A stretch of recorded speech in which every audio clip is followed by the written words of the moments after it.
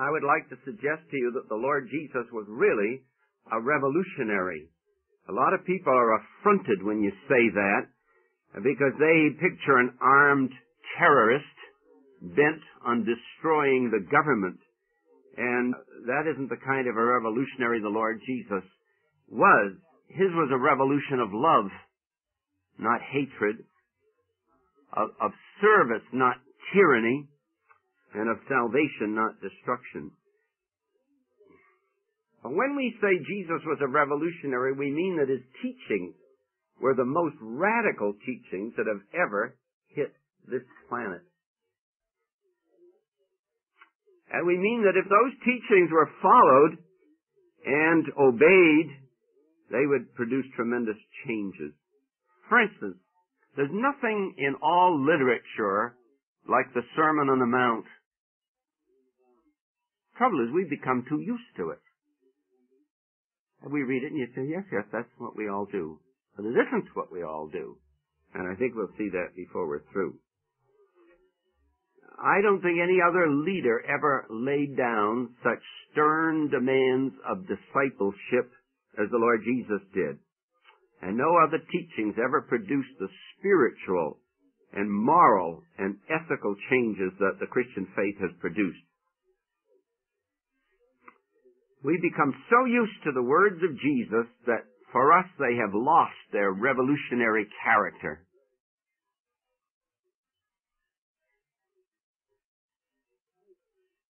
It's a tragedy. It's really a tragedy when we can read his teachings and still be comfortable. Because they were never designed to make us comfortable. They are intended to transform our lives and send us forth as burning and shining lights for Him, as heralds of a flaming passion. I think I, we mentioned this before. We often think it must have been a lovely experience to walk along with Jesus when He was here on earth a pleasant Bible conference from one end of the day to the other. And I've often suggested, I don't think it was that at all. I think it was a very scalding experience to be in the presence of Jesus. Because the closer you are to Him, the more you realize how inadequate and worthless you are yourself. And anyway, He called them to a life of affliction and suffering and persecution and trial. And we don't like that. I would suggest to you today, if you can read the teachings of Jesus and still be comfortable, you've missed the point. His demands are humanly impossible. I think that's good for us to realize you and I cannot live the Christian life in our own strength. If I'm doing that, my life is no different from the life of the man next door. The Christian life is a supernatural life. It's just as impossible for me to live the Christian life in my own strength as it is for me to walk on water. I can't do it. But empowered by the Holy Spirit, I can do it. Like if Jesus said to me, walk on the water, I could do it. Let's say this at the beginning of our studies, that the life of discipleship is a supernatural life. And it can only be lived by the enablement of the Holy Spirit. Now, we have taken the teachings of the Lord Jesus and we've robbed them. We've been able in a clever way to rob them of their true meaning so that when we get through with them, there really isn't very much left of the teaching. Instead of taking his words literally, we, we can think of 60 theological reasons why they don't mean what they say. Believe me, we can. I'll show it to you before we're through. And the result is that there's a very great difference between the Christianity you see about you and the Christianity of the New Testament. I think we'd all really get a tremendous shock to be exposed to the Christianity of the New Testament. Today, what is Christianity? Well, it's attending church. It's putting money in the collection, and it's giving Jesus your spare time. Do you think that's what he taught the disciples? Is that true Christianity? No. True Christianity is a life of sacrificial service and of total commitment to the Son of God. He said, Seek first the kingdom of God and his righteousness, and all these things shall be added unto you. I like what A.W. Tozer said in his book, Born After Midnight. He said, Christ calls men to carry a cross. We call them to have fun in His name. He calls them to forsake the world. We assure them that if they just accept Jesus, the world is their oyster. He calls them to suffer. We call them to enjoy all the bourgeois comforts modern civilization affords. He calls them to self-abnegation and death. We call them to spread themselves like green bay trees or perchance even to become stars in a pitiful fifth-rate religious zodiac, as only Tozer could say it. He calls them to holiness. We call them to a cheap and tawdry happiness that would have been rejected with scorn by the least of the Stoic philosophers. In another book that he wrote called That Incredible Christian, he said, Our Lord called men to follow him, but he never made the way look easy. Indeed, one gets the distinct impression that he made it appear extremely hard. Sometimes he said things to disciples or prospective disciples that we today discreetly avoid repeating when we're trying to win men to him.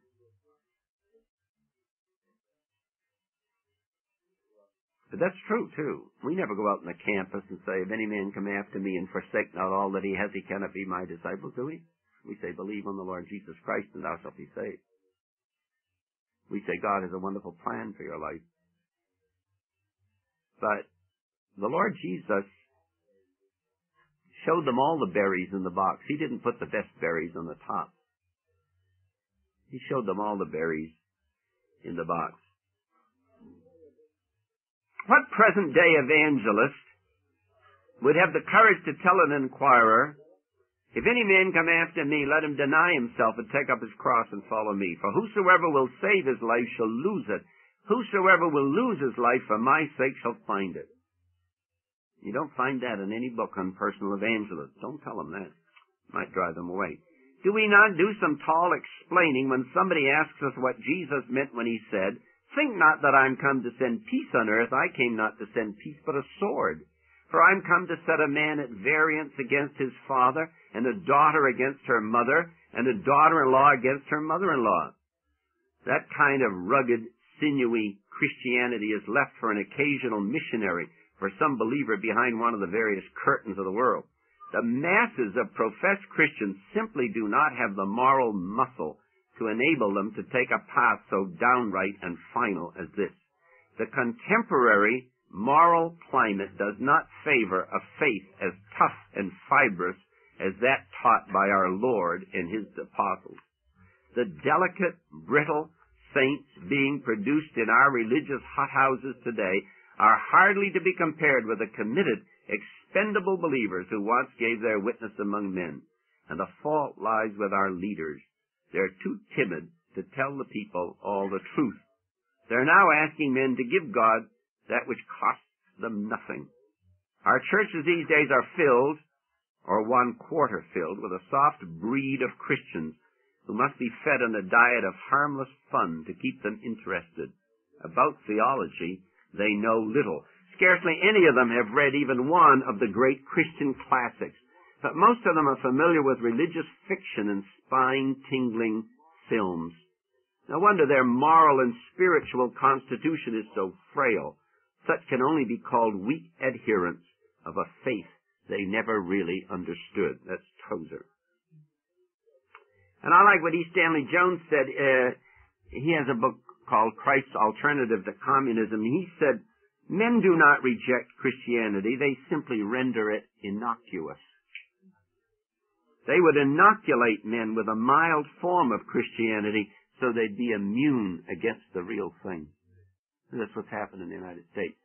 People are uh, inoculated against Christianity with a mild form of it. They're immune to the real thing. What the Lord Jesus is looking for today is people who go to the Word and take His teachings literally and obey them even if they don't see anyone else obeying them. Now, most of us don't do this. Most of us look around, see what other people are doing, and model ourselves after other people. One of the students at Emmaus that I knew that made the best progress in the things of God was a young fellow that came When he was first saved, he was practically illiterate and so bashful he could hardly meet people. And he became a paratrooper down at Fort Bragg, North Carolina. And he got saved down there, I think, in the Servicemen's Center. And he went to the Word of God, and if it said it, he was going to do it. Whether anybody else was going to do it or not. And that guy went out overseas, and before you know it, he was preaching the gospel in French, Spanish, German, and a little Russian. Spent time in India, and really was greatly used of God. He was illiterate when he was first saved, but he didn't stay that way long. And his life really packed a punch. The Lord is looking for people today who are tired of living self-centered lives and who are aware that material things don't bring happiness. The Lord is looking for people who are aware that Christians are here for a bigger business than to make money.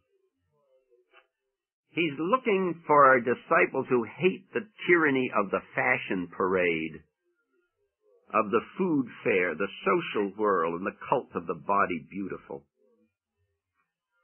The Lord is looking for people who want reality in the Christian life. I think it's a sad thing that we often find more reality in the average communist than we do in the average Christian. Isn't that right? George Verwer says when he was first saved, he looked and looked and looked for men who were burning bushes, burning for Christ and not consumed, and he couldn't find any. And that's what the Lord is looking for today. People are willing to do for political and social causes what they wouldn't do for the Christ of God, and they're willing to do for the dollar what they wouldn't do for Jesus.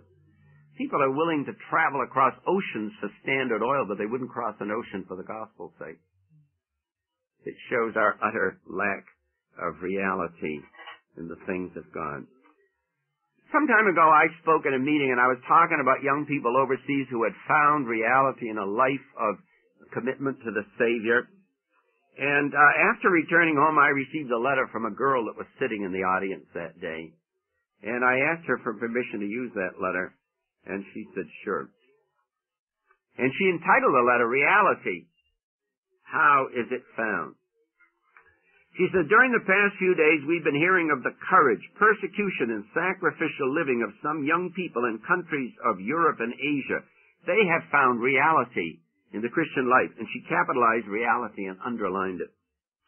Uh, they have found reality in the Christian life, something I and dozens of other young people have searched for for a long time. But I want that reality more than anything in the world.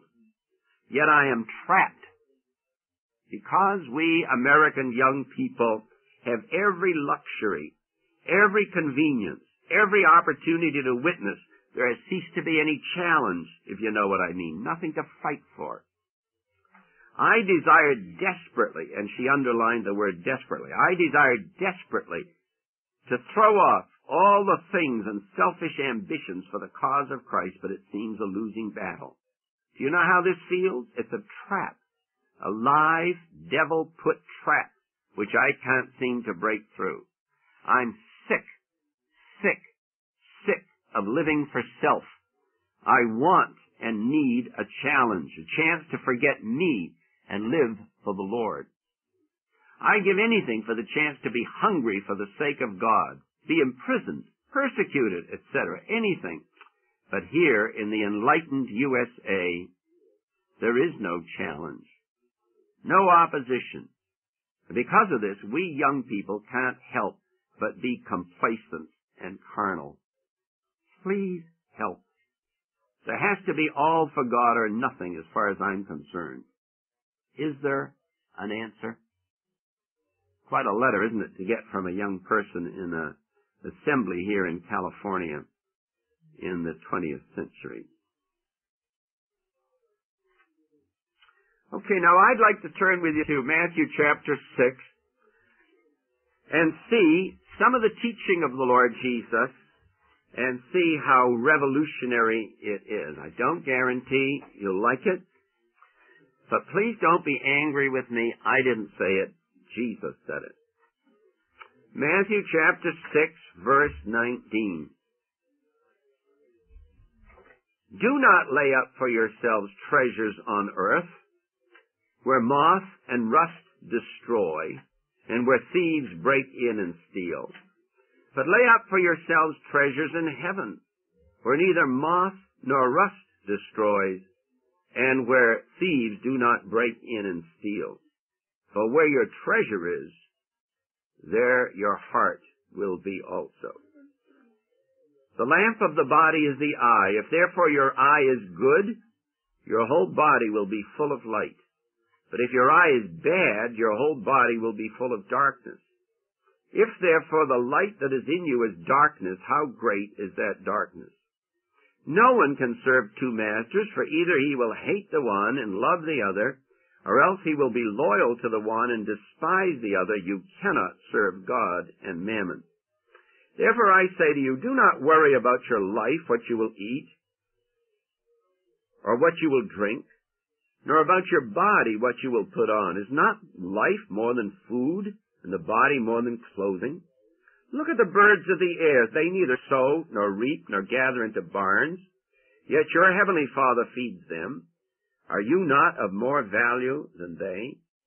Which of you by worrying can add one cubit to his stature?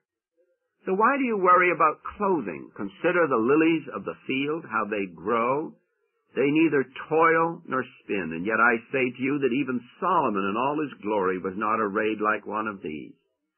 Now if God so clothes the grass of the field, which today is and tomorrow is thrown into the oven, will he not much more clothe you, O you of little faith?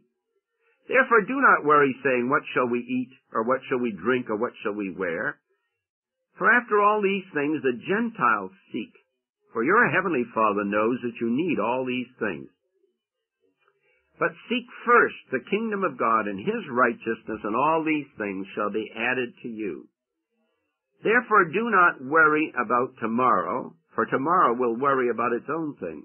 Sufficient for the day is its own trouble. Now, in this passage of scripture, we have a very, the very revolutionary teaching of the Lord Jesus about security. You might call it social security, if you want.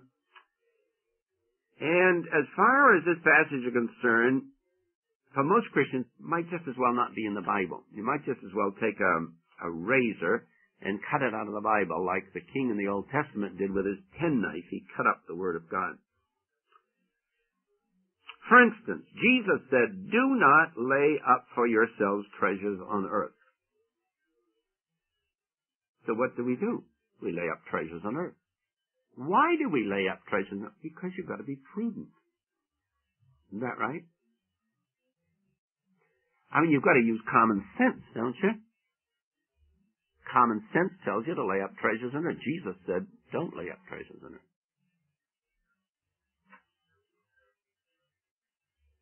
laying up treasures on earth is as contrary to the Word of God as adultery or fornication. The same Bible that forbids one forbids the other, doesn't it? But as I say, we've, we've thought of 60 theological reasons why this verse doesn't mean what it says.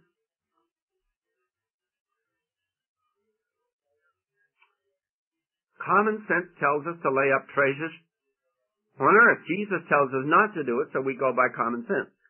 I'll never forget a prayer meeting in, in Belgium years ago, and dear Ray Lynch said that he said that when it comes to the things of God, common sense is often no better than rat poison.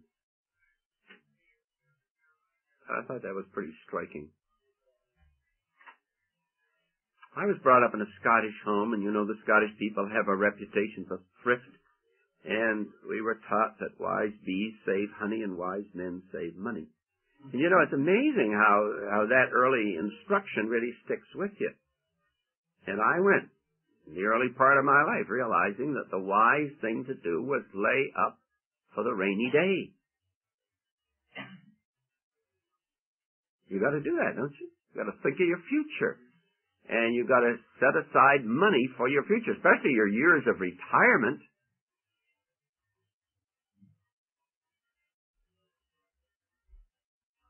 One writer said that God has no blessing for the man who esteems the rainy day above the present agony of souls. What does that mean? God has no blessing for the man who esteems the rainy day above the present agony of souls. That means if I go through life thinking more about my indefinite future than I do about perishing souls in the world today, God has no blessing for me. And I think that's true.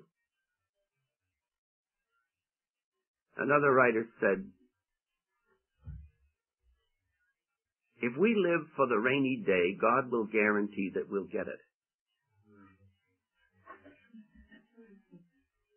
Something to think about, isn't it? If we live for the rainy day, God will guarantee that we get it. Jesus said, don't lay up treasures on earth. You say, but, you know, I've got to have security, don't I? That is a great word today, security. Well, if you look in the verse, the rest of the verse, you'll find that instead of having security, there are three nervous breakdowns in the verse. Lay not up for yourselves treasures in the earth, where moth and rust doth corrupt, and where thieves break through and steal. Three nervous breakdowns. I mean, you've got your treasure, and, and you should realize that when these words were spoken, that the uh, people in Bible lands laid up their wealth in clothing, Things haven't changed much. Uh, clothing and money and coinage, you know. That's why he says where moth doth corrupt.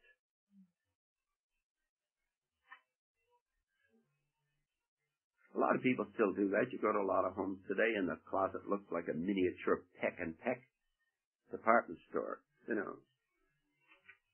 Amazing, isn't it?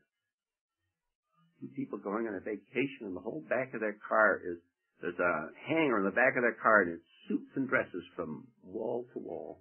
How could they possibly use all that in a vacation? Where moth and rust doth corrupt and where thieves break through and steal. A good lesson for us to learn is there's no security here in this world. As far as the world is concerned, there's no security. Our only security is God. Once again, to go back to my boyhood, my mother got these little uh, chrome banks for us, and we used to put our nickels and dimes and pennies in it. And when the bank was full, we'd we'd traipse over to the local bank and deposit it. We built up a neat little sum of money, you know, saving our money, typical Scottish kids. And then the depression came and the banks all closed, and we lost it all. And my mother put her head down on the table and wept and said she wished she had never taught us that.